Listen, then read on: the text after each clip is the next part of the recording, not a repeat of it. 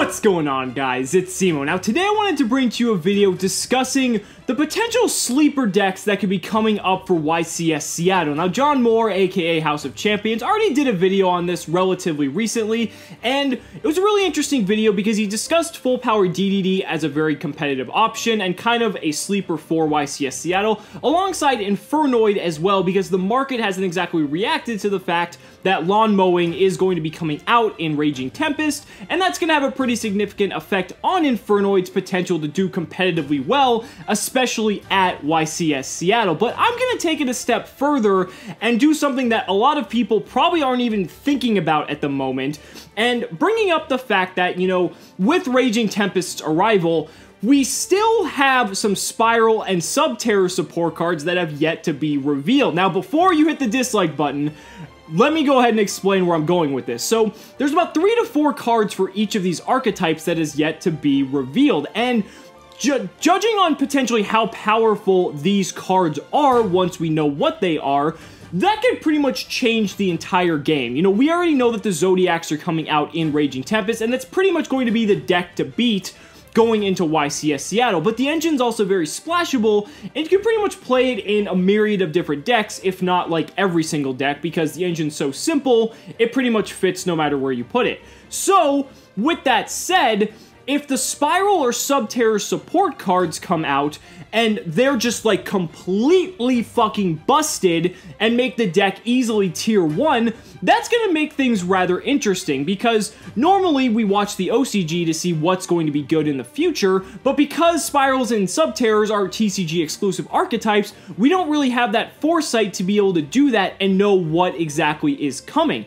We're not going to know what these cards are to maybe three weeks away from YCS Seattle, potentially two, depending on if the Konami blog reveals them one by one like they typically do, but it really is dependent on that. It's also dependent on if someone can construct the build that really is the build that can just compete with Zodiac's, you know, lawn mowing Infernoid and everything else that's going to be at YCS Seattle. Because, you know, right now, Obviously, Spyrals and Subterrors aren't doing the best. They might make like a regional top here or there, but on the YCS level, you're not seeing them at the top tables, hardly at all. They're not making the top cuts, you know, so the decks are faring okay, you know, on that regional level, but not really going beyond that.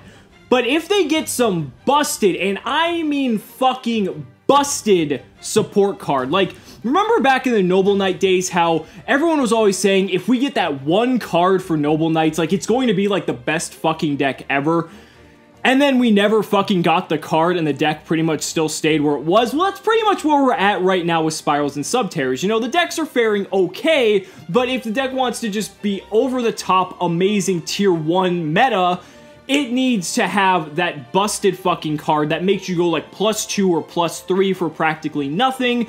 And then more likely than not, you're probably going to combine that with the Zodiac engine because having Drancias and shit is just fucking crazy. So, you know, overall, depending on what this support is, it could be a real game changer for YCS Seattle. And I think a lot of people are overlooking this, mainly because just, just imagine what's going to happen. When someone figures out the correct build, this is assuming that we get the crazy broken support, but let's say someone figures out the build that, like, it counters Zodiacs, it can compete with Infernoid, with ABC, with Metal Foe, all this stuff, and then imagine what's going to happen to the market. Someone's going to figure it out, or a group of people are going to figure it out. They're going to start buying out like Subterror Nemesis Archers, or they're going to start buying out like the Super Agents, or like all the expensive cards, and they're going to start forcing the price up, and people are going to notice that, so that's going to cause extreme buyouts, or at YCS Seattle itself, people are going to be going to the vendors like, hey, I need these cards, because they're not going to have time to get them in time because Raging Tempest only comes out one week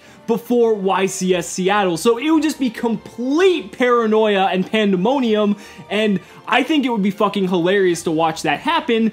Granted, all of those, you know, conditions are met, but that might be asking a little bit too much. But, you know, Spyrals, they have some pretty good synchro builds that can churn out things like Naturia Beast. So, you know, if you have Naturia Beast backed by Drancia and some back row, that's pretty good. And then Subterrors can obviously flood the field with monsters as well, so who knows what's going to happen. You know, obviously, you know, we already kind of have the meta pretty much figured out for YCS Seattle, but you know what? You never know what's going to happen with those TCG exclusives because I mean, we we have plenty of examples in the past where we've had some broken fucking TCG exclusive. So that's all my thoughts on this, guys. Let me know down in the comments what you guys think about this.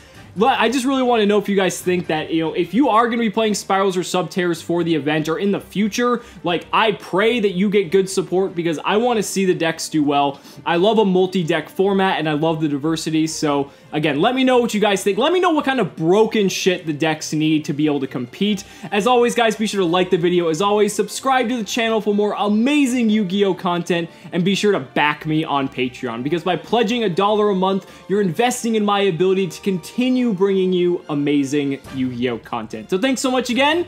We'll see you next time.